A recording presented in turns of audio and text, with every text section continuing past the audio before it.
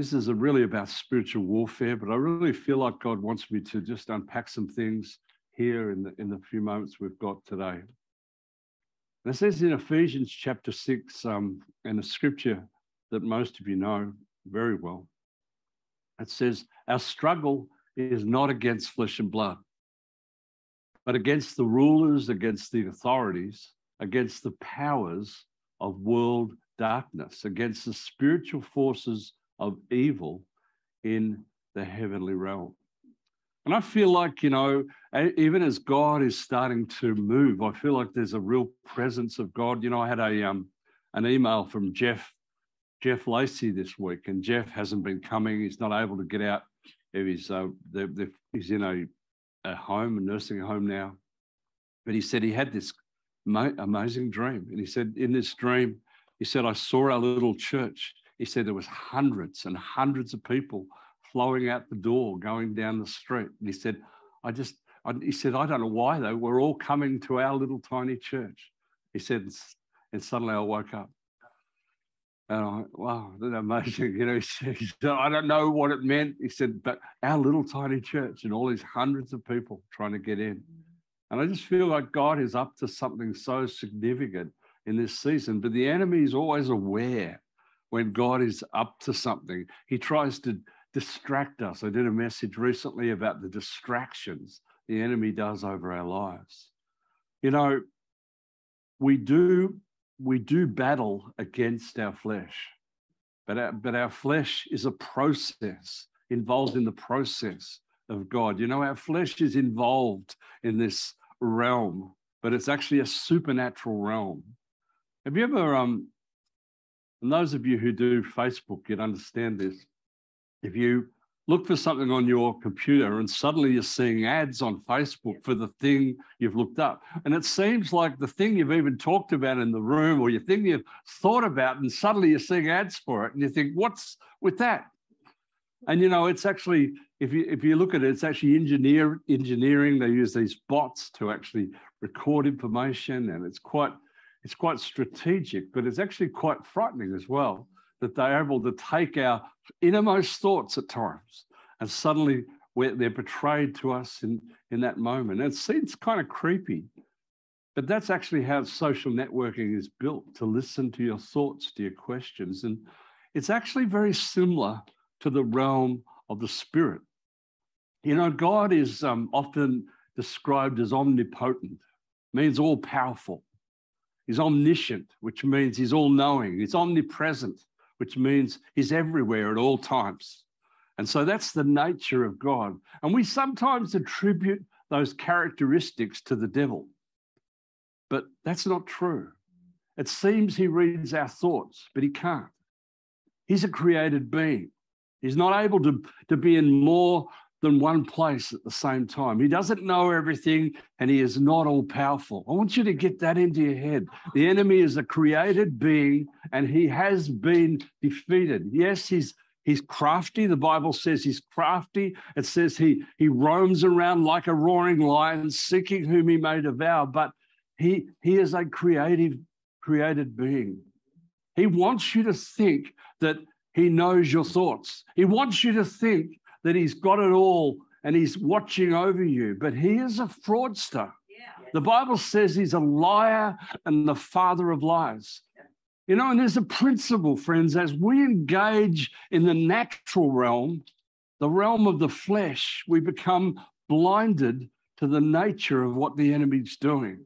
And I just want to encourage you this morning when the enemy comes to attack, be aware that this is the enemy trying to take advantage of my, of my human state. And I need to war in the realm of the spirit, not in the flesh. It's not your husband that the problem is the problem. He may seem like the problem, or your wife might seem like the problem, but it's not. It's actually a supernatural realm that's trying to take you out. But he will use the flesh that's in us. Yeah. Who knows what I mean? Yes. You know, the enemy wants to get you to deal through the flesh with words from others or even thoughts in our mind. You know, often our mouths are the greatest enemy we have. In Matthew chapter 12, it says, But I tell you that men will give account on that day of judgment for every careless word they've spoken. For by your words you will be acquitted, and by your words you will be condemned. Wow. The things we speak are so important, guys. In Proverbs chapter 18, it says, Death and life are in the power of the tongue, and those who love it will eat its fruit.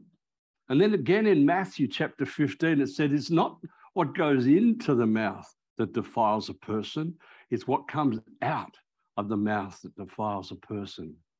And then in James chapter 1, it says, Be quick to listen, be slow to speak, and slow to become angry. Can I encourage you?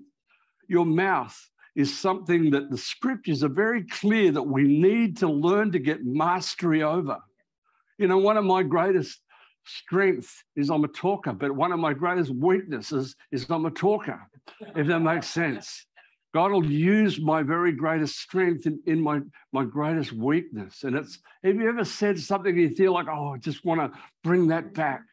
God, put a guard around my heart, keep my mouth in your ways. You know, principalities and powers in the heavenly places speaks about a spiritual realm where the enemy operates.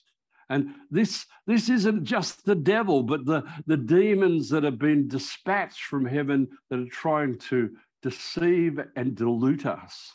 You know, his greatest victories are when we wrestle hand to hand in the realm of the flesh. And some of the greatest failures of the church over this last season have been as people wrestle with one another. You know, it's kind of scary when you see some of the stuff that's particularly going on in the American church between factions of, of political expedience. Some people believe in one political party and some believe in the other.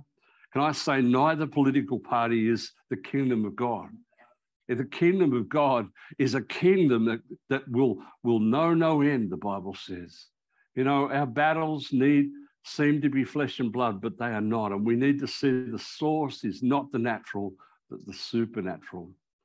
And one of his greatest um, tactics is to remain hidden. If he can get us to fight a natural foe, he's won a major battle.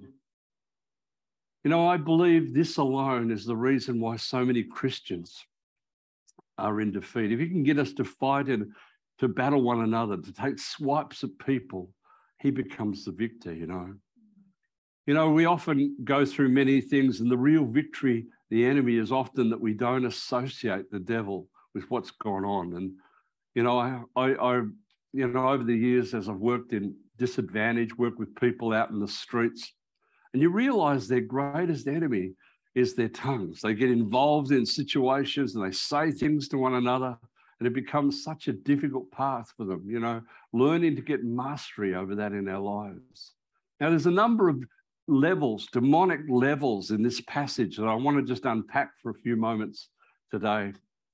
It says here, um, rulers, authorities, powers in this dark world, spiritual forces of evil in the heavenly realms. And each of these represents a hierarchy, if you would, of Satan's kingdom. And Satan is a is very organized in his system of operation. He's not doesn't do it through pleasantness. He does it through control and manipulation. But the demons work in very, very practically in a realm trying to attack us. These, these demonic forces actually have order. And we need to recognize often we as Christians are so random. We have very little discipline in our lives. And those are the re- very reason the enemy has has success over us. The first of these, the King James translates principalities. And this word principalities is a powerful ruler or the rule of someone in authority. And the Greek word here is arche, and it refers to demon spirits of the highest rank. And the next level is, of the King James translate powers. And the same word we see in other places in the, in the New Testament is this word exousia, which, which means like a superhuman potentate operating under delegated influence. You know, these, these spiritual powers are, are, have supernatural power. But can I say to you, greater is he that's within us than he that's within this world. The third level of the King James translates the Greek word com, cosmocrator. I probably said that wrong, but it implies a world ruler and almost a picture, if you would, of Satan himself. And we can see that the devil's kingdom is not something that we can just dismiss. Oh, I don't worry about the devil. And I, I've heard people say that. But can I say we need to be very aware that the enemy does roam around like a roaring lion. He's constantly trying to take advantage of our weakness, take advantage of our sin, take advantage of our lower nature. You know, he has a strategy and a plan. And we, we need to only look at the television and the movies and all the things that are going on, how the occult and witchcraft have become so acceptable. You know, um, I'm just amazed how Harry Potter has become such a prevalent thing in our city. You know, I, you know, there's a play in the city about Harry Potter and the cursed child, and it's like it's like uh, this thing has been like a spirit of witchcraft that's been released over Victoria. You know, and and witchcraft operates by taking human taking human thought captive, and that whole witchcraft spirit is a very real thing. You know, it's on our the televisions pretty much every week they're playing these movies over and over and over again i think one of the supermarkets is actually handing out chits from to children trying to you know and there's been such a, a, a huge increase of children interested in the in that supernatural realm taking going to find out about satanism and witchcraft and stuff you know it's really a plan of the enemy to try and curse a generation and we need to recognize that this is a supernatural war. You know, don't look to the world because the world will deceive you. The world will say, oh, don't look over here. It's okay. These are just, they're just having a bit of fun. Can I say, as someone who's moved in this realm quite a lot, this stuff is very real. I've, I've had young people live in my house that have been involved in, in witchcraft, and we've had to take them through a huge amount of deliverance. I remember once we had this guy who was involved in he was involved in Satanism and he had all his paraphernalia, and we took it down to our church. Uh, we had a bin out the back and we burnt a lot of his stuff and the stuff that came out of the flames, or like like literally like all these these things, you know, spirits would come out of the flames as we were burning this stuff, you know, because it because witchcraft actually attracts spiritual powers. It's really real, friends. You know, this stuff is real. It's dece- deceptive and it's demonic, but it's real. And we need to recognize when someone gets caught up in witchcraft, the very first thing that happens to them is they get full of fear because the enemy rules his kingdom with fear, but the, the Lord rules his with love. And the, the Bible tells us perfect love casts out all fear. And so when the enemy is involved, people get caught up in fear. If you get young people who open that door to that spirit realm, the first thing that happens is they're not able to sleep with the light off at night. Suddenly they become so full of fear, and the enemy controls that environment with them. And friends, we have the authority over this realm. You know, don't be fooled. The enemy certainly has a plan and an agenda for this world, but praise God, so does the Lord. It has a, a plan, and He we know how this book finishes. We know in the end, the enemy will even bow his knee before, before the Lord and he will say, Jesus is Lord. We know that. We know every person. We know all those things, but, but don't get distracted. Recognize that we are in a spiritual battle. So in verse 13, it says, Therefore, put on the full armor of God, so that when that day of evil comes, you may be able to stand your ground. And after you've done everything, stand. Now, this word stand here could be better translated to withstand.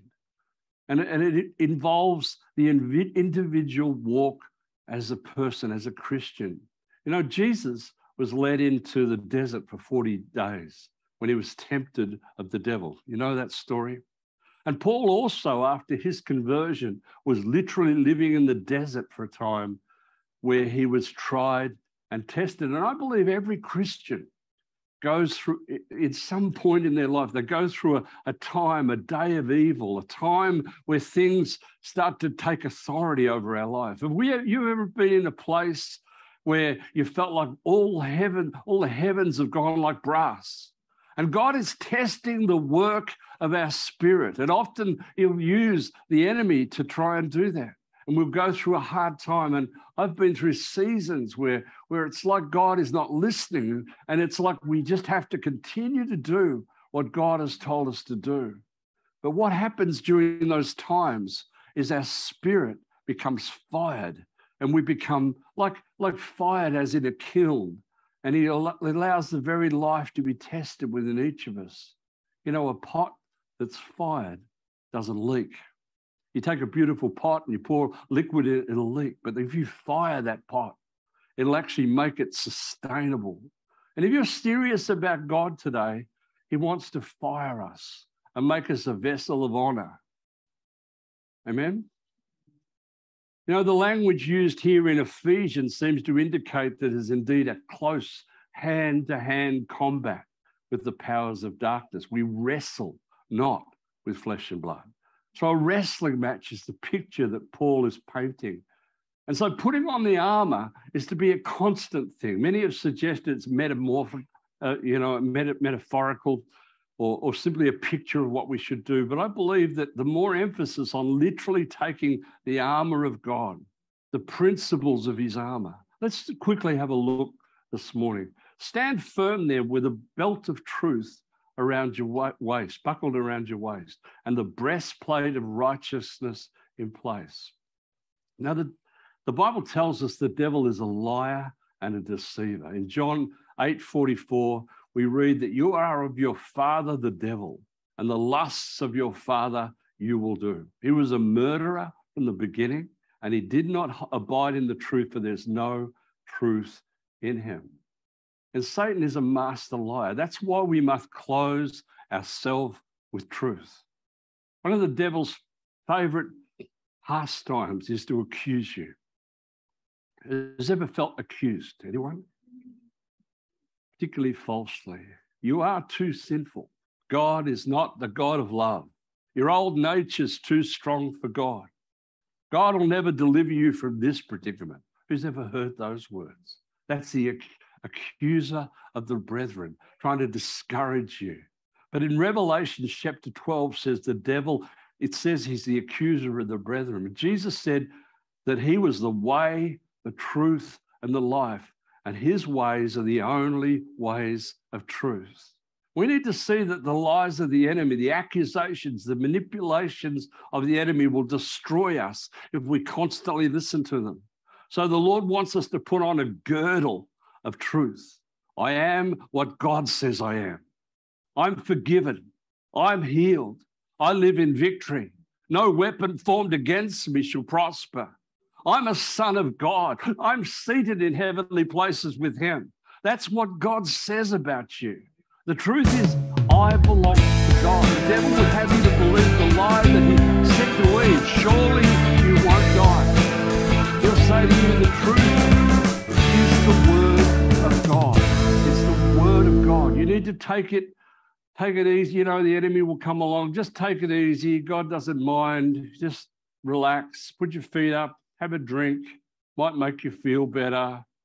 You know, that's the lies of the enemy. The only truth that we have as believers is what God says in his word. We need to imbibe the logos of God's word, the truth of the word of God. So the lies of the enemy simply fall off our life. When he comes and accuses us, no, in Jesus' name. No, for greater is he that's within me than he that's within the world. You know, the breastplate of righteousness is the word of God tells me that I am the righteousness of God. The enemy would have me to believe otherwise, or more subtly cause me to rely on my own righteousness. You know, religion is about self righteousness. If I, I can earn this, if I'm good enough, God will take me to heaven. No, it's never about your goodness. I cannot earn it. I don't deserve it. Even as Paul says, I am the chief of sinners, but he has made me righteous through the blood of the Lamb. You know, the main trouble with our own righteousness is that it is based on pride. And God hates pride. If you think you're good enough for God, then you are deceived. It's not your goodness. It's not how many times you've read the Bible. It's not how many times you go to church. You know, going to church doesn't make you a Christian any more than going to McDonald's makes you a hamburger. You know, seriously, it's about it's about your relationship with the King only by his righteousness. So I need to take upon myself his righteousness and recognize that in my flesh I am nothing. When he sees me as a righteous son, it's not because of what I've done, because of what the blood of Jesus has done. Now, verse 15, it says, with your feet fitted with the readiness that comes from the gospel of peace. The Greek word here, and I'll finish in a moment, don't worry, is this verse hedamosa, which can be rendered foundations. And the word is the same word used in John the Baptist. He was to hedamosa, the way of the Lord, which we have rendered make ready the way of the Lord. So we to see it as a foundation fits into both these places in Scripture. John the Baptist was laying a foundation for the Lord. And here in Ephesians, we can render this let's lay a foundation of the gospel of peace. Paul said in 1 Corinthians 3, verse 10, according to the grace of God, which is given unto me, a wise master builder, I've laid a foundation and another builds upon it. Let us, every man, take heed how he builds. Friends, the foundation is always the gospel. It's never some other thing. It's never some other plan. It's never some other theory. The enemy would have you to build on all sorts of fads and fancies, but the only thing that we can build on is the foundation of the gospel of peace. The foundation that we are we are all that he says we are. So to shod our feet with the readiness of the gospel of peace is simply our foundations, our feet firmly planted in the gospel. You know, it's easy in church to forget about the gospel. We get involved in church stuff, you know, it's all about the pews or the, I don't know, the carpet or something that goes on in church. That's one of the main reasons that the Lord told us to do this as often as you come together to do communion to remind us of why we're there. We're there because of the blood. We're there because of what Jesus did. We're there because of what he did on that cross. And as he died, he said, It is finished. It was finished for you, friends. The rest of that scripture in 1 Corinthians now, if any man builds upon this foundation gold, silver, precious stones, wood, hay, and stubble, every man's work shall be made manifest, for the day shall declare it because it shall be revealed by fire, and fire shall try every man's work of what sort it is. Wow. This is a heavy scripture. It's really saying everything that we build as Christians, everything will go through the fire. Everything will be passed through the fire of purity. Was it built for him? Was it built with the right motive? Was it built in, in the right place? Was, was the money that came in done for the right reason? And we might be able to do it and fool everyone else, but we can never fool God. Yeah. Isn't that powerful? Everything we build will pass through fire. And if it was built with the right motive, then it'll pass through into glory and it'll become substance. But if not, the Bible says we will get saved, but all that we built will pass away. Pretty heavy, isn't it? In verse 16, it said, In addition to this, take up the shield of faith with which you can extinguish the flaming arrows of the evil one.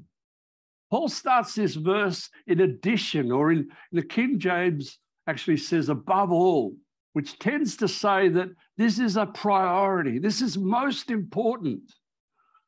The tense of this verse, this verb, sorry, also implies a constant, unflinching attitude of faith. What's faith?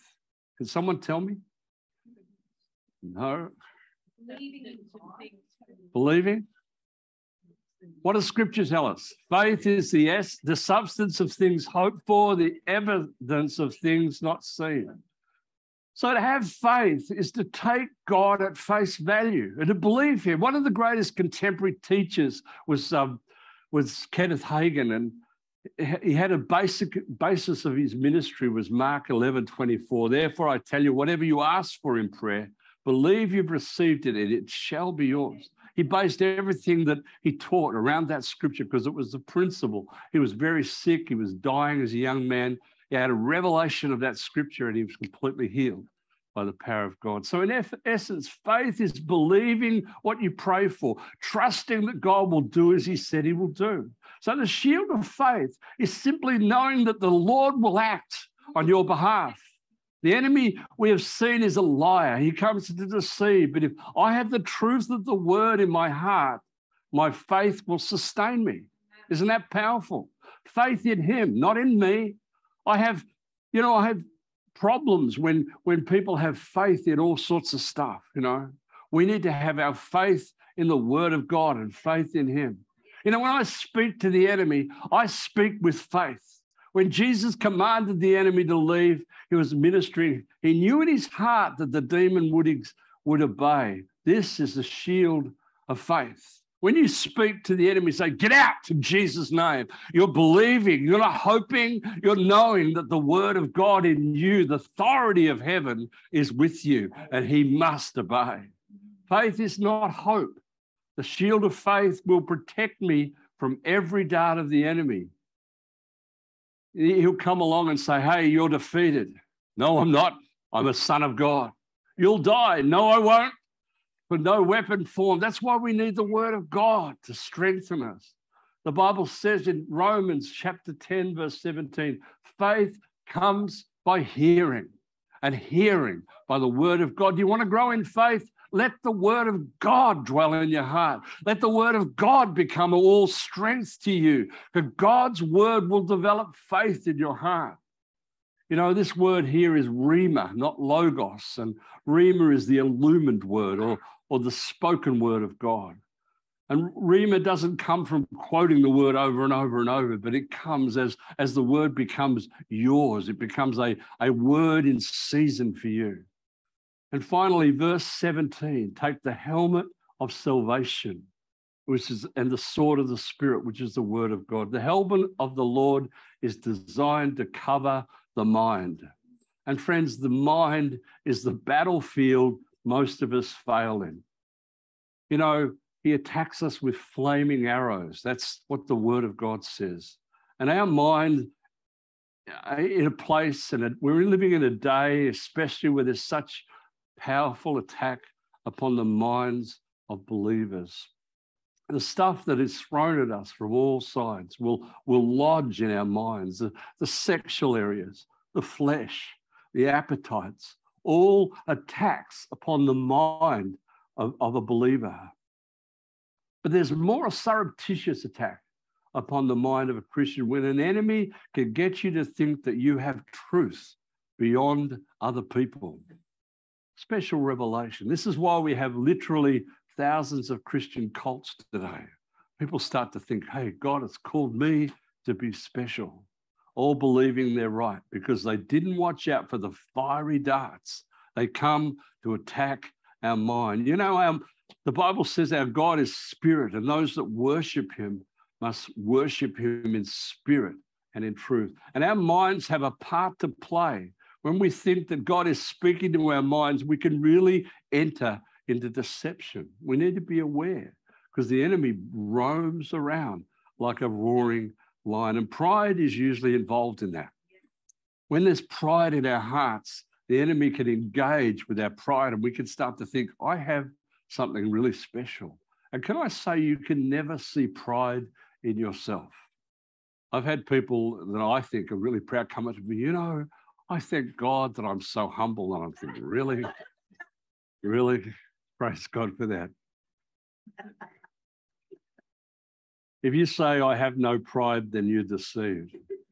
Why do you think there's over 22,000 different denominations in America? You know, every church started by some revelation. We're the truth.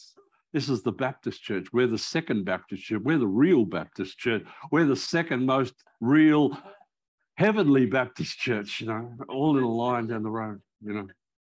Finally, the word of spirit, the word of, word of God. And this is the only part of the armor that's offensive. The rest is defensive, you know, it's it's it's to defend us. But we're only called to fight with weapons of the Lord. You know, when Jesus was led into the wilderness and he was led into the wilderness and he was tempted for 40 days, and I won't read that scripture. But you know what he did at the end of that 40 days, he came and the enemy tempted him. And he, he said, It is written. You know, when the enemy came and said, Turn this bread into, into uh, sorry, this rock into bread. And he said, It is written. You shall, you know, I can't remember what he said actually. it is written, Man shall not live by bread alone, but by every word of God. That's right. And then and then he tempted him again. And, and then he said, you know, you shall worship the Lord, Lord alone. And you know, friends, we'll never overcome the enemy where, where it's saying, oh, you know, the Bible says something about this. No, it is written. That's why we need to get the word of God in our heart. The Bible tells us in Hebrews chapter 4, verse 12, that the word of God is sharp and active, sharper than a double-edged sword, able to divide between soul and spirit, joint, and marrow. You know, the soul realm and the spirit realm is really hard to discern. Really hard. What is soul? What is spirit? Well, the Bible says the, the scriptures, the word of God will divide between those. Isn't that powerful? So, this is a very principle that will help you to overcome the enemy at every turn. You know, I, over the years, I've, I've um, had lots of kids live with me, and I've had to learn to walk in that realm, you know, walk in the spirit realm. You know, we'd have kids that were living there with punching walls, punching holes in the walls and really angry. And I had to learn my authority in scripture. I had to learn to walk in the authority that God give, had given me, you know. And friends, there's power in the word of God, and we need to hide it in, in our hearts. And finally, this scripture says in verse 18, and pray in the Spirit on all occasions with all kinds of repairs, prayers and requests. With this in mind, be alert and keep on praying for all the saints. And you know, praying in the Spirit is praying, obviously praying in, in tongues, which is so powerful. But I believe that Paul's actually saying something more more than that. He's actually talking about being in the Spirit on the Lord's day. You know, it says in the, in the book of Revelations, John said, I was in the spirit on the Lord's day. He wasn't in the tongues, he was in the spirit realm. And I think Paul's saying, you know, when you pray in that spirit place, you get into that realm where you have authority. You know, when when you pray a lot, you start to recognize, hey, I'm in a realm right now. I'm in a place where heaven is hearing me, where God is is is got I've got God's attention. And so, the essence of this final exhortation, if you put on all the armor and you move in the spirit with a greater sense of ease, you'll be able to pray there in that place. Isn't that powerful? Okay, I need to close with prayer. So, Father, we just thank you this morning that you're teaching us to walk as sons and daughters of the Most High God. You're giving us authority over the realm of darkness. Lord, you've called us, Lord, to be more than conquerors through you.